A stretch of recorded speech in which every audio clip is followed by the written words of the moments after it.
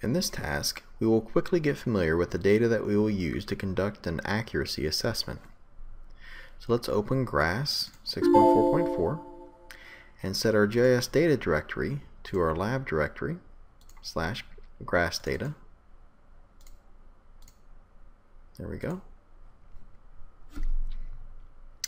Uh, we're going to open the user one map set. So I'm going to select it here and click Start GRASS. Okay, so um, now that we're inside the um, map set, uh, we want to open up the uh, workspace that I saved previously.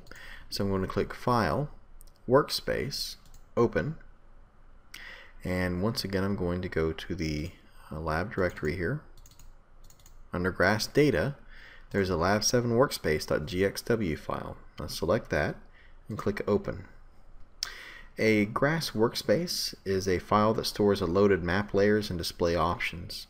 A GRASS GIS workspace has been created for you that contains a small subset of the Landsat TM image displayed as an RGB using bands 4, 5, and 3, respectively, as well as a classified image, which is ML class, and a reclassified image, which is reclass ML. The reclass ML contains five land cover types uh, agriculture, water, grassland, forest, and urban. So we're going to right click on reclass underscore ML and choose histogram. This will open the histogramming tool, which is d.histogram, uh, displaying how many instances, instances of each cell value are contained in the raster map. The value of each um, uh, bar in the uh, histogram contains the unique land cover values that correspond to the individual land cover information classes. The ML class file represents a typical output for the maximum likelihood image classification, so i.maxlike, uh, tool, where every spectral class is categorized in the output.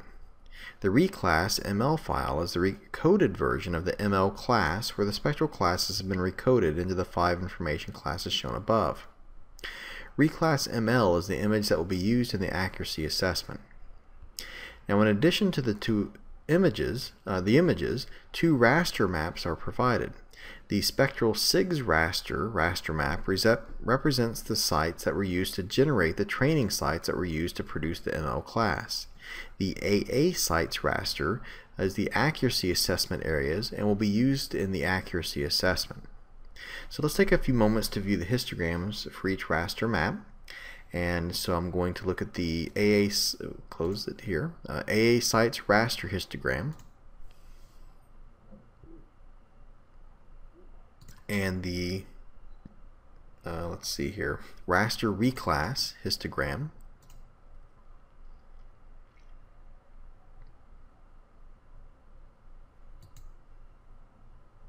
And the ML class histogram. And then lastly, the spectral SIGS raster histogram. And so as you look through these, make sure you understand the relationship between the raster maps and how the reclassified raster maps relate to the original classification output.